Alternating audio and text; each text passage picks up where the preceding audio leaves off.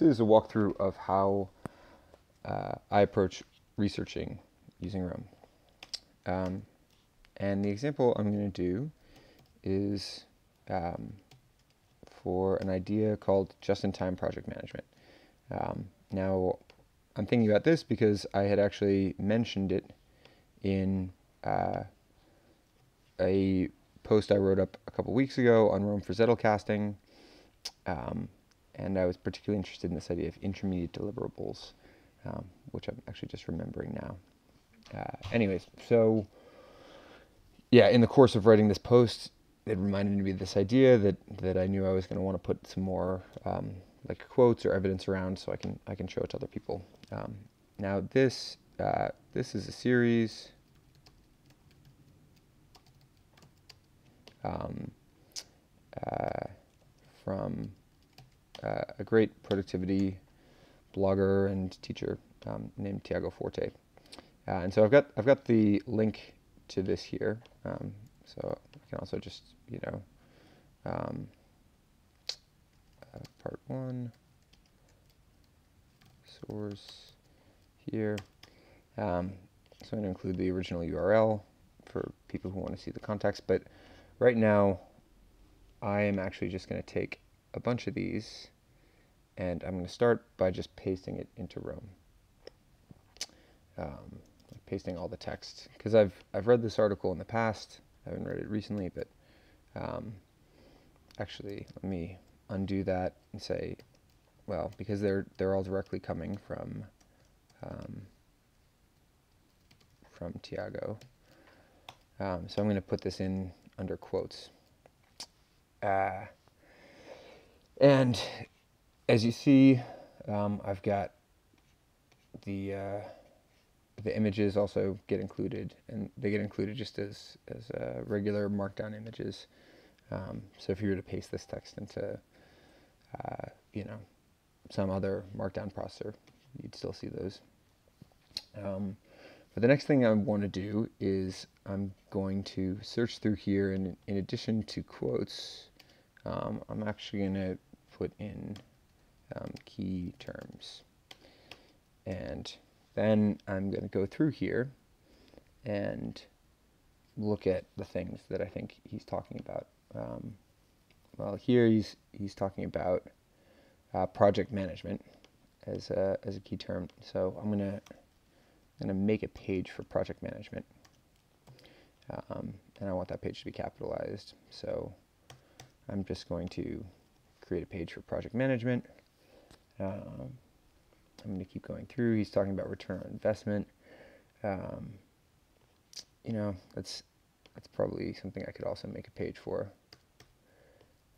Um, I wonder what happens if I visit that. Yeah, it's just a regular return on investment page. Um, well, anyways, when I when I create that, it doesn't just collect the direct link that I had to the return on investment page.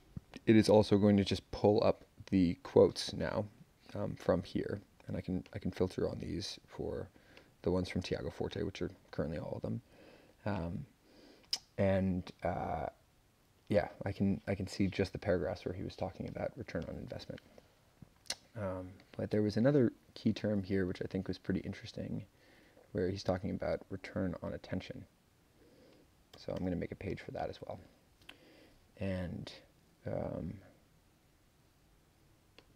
he also calls that aka ROA. Um, so now I can go to the ROA page and I can see, well, it's collecting actually some of the Roam references, but um, so that that probably is not going to be actually that useful page for me. So I'm going to just delete this page. And if I go back and see where I deleted that page, um, all it did was it, it deleted the explicit link. Um, so yeah, but return on attention seems to be good enough, and I can figure in, find the places where he's talking explicitly about um, return on attention in that paragraph, uh, and and just jump back into here. Um, knowledge management is product management. Anyway, so that's that is Um, so here I want to list out the key terms being return on retention, return investment, and project management. Um,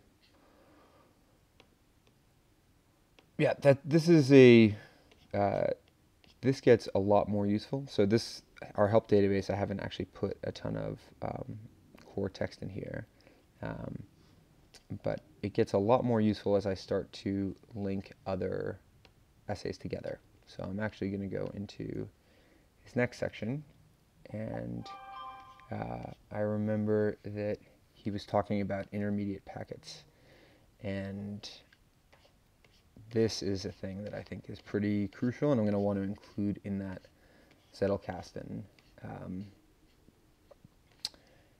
essay that I was writing.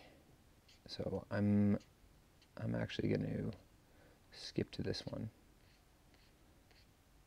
Copy some of these.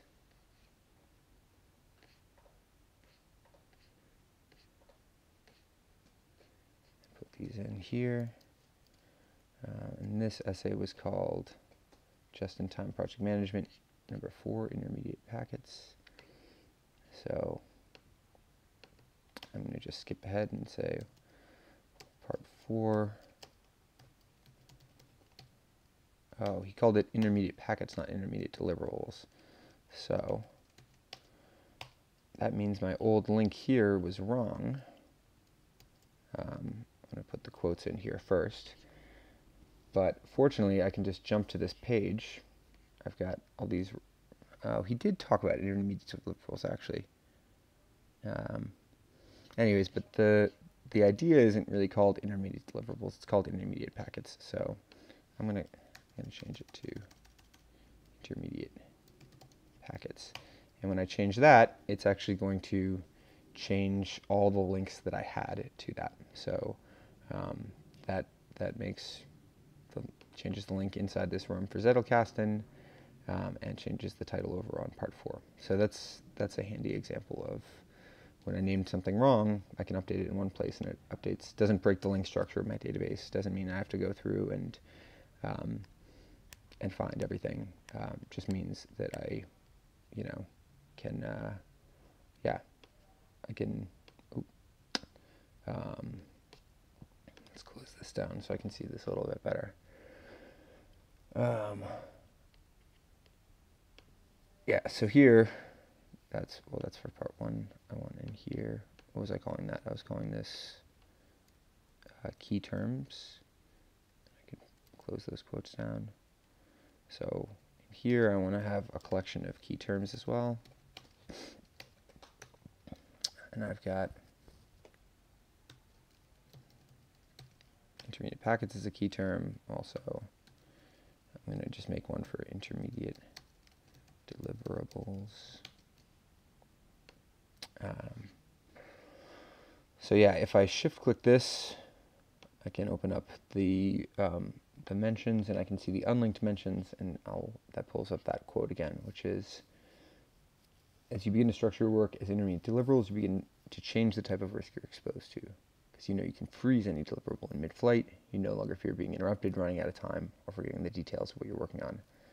You substitute the risk of not delivering on something large with the creative risks of going deeper on something small.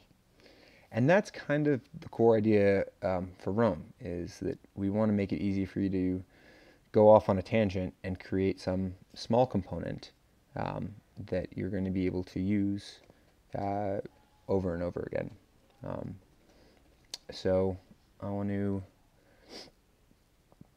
um, I think this image is one that I really am going to use.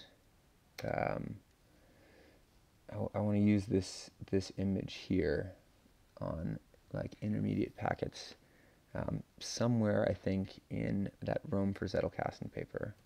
So I could just say, you know, I could make a little to-do. Roam for Zettelkasting. Um, so now at least when I, you know, visit the Roam for Zettelkasting page, um, don't necessarily know where I should put it, but it's going to be in the mentions. Um, and that'll allow me to, to bump up a level and see this. Um, and yeah, let me let me just do this now. Um, I'm going to click on this page. Right, I've got this this item right here in my sidebar, and so I'm going to put this into right here, um, and I can say, you know what, actually, um, I liked that intermediate deliverables work.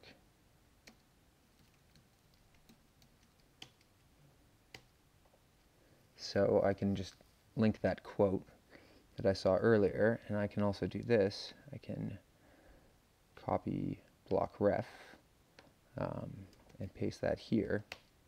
And so now I've got this idea of, um, so I could say something like the core idea of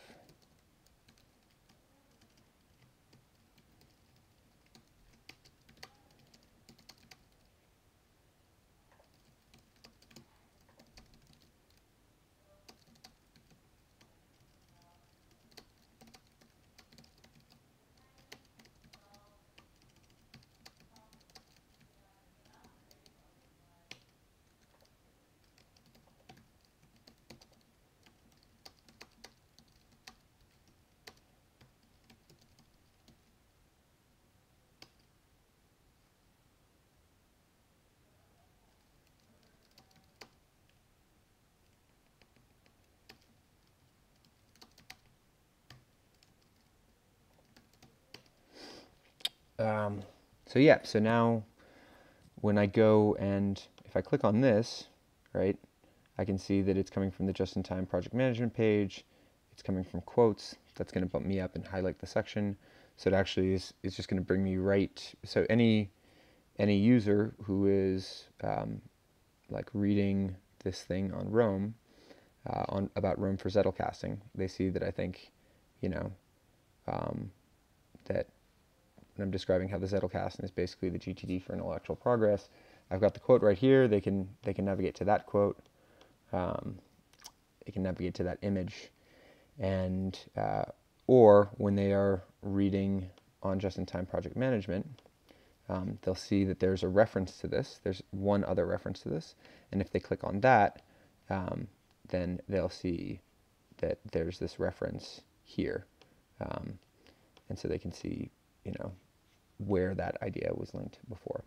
So as you, um, yeah, as you go through this, this makes it much easier. As you're reading something interesting, um, makes it much easier to, to take pieces of that and place it into new contexts um, and just connect your ideas. Uh, so you're more actively reading people's work. You're more actively thinking about um, how does their work relate to the projects you're working on, relate to the questions that you're asking, not necessarily the questions that they're asking and um, yeah, like just allows you to then roam or or wander um, through the things which you've curated and that you think are relevant. So that's that's how I use Roam for researching.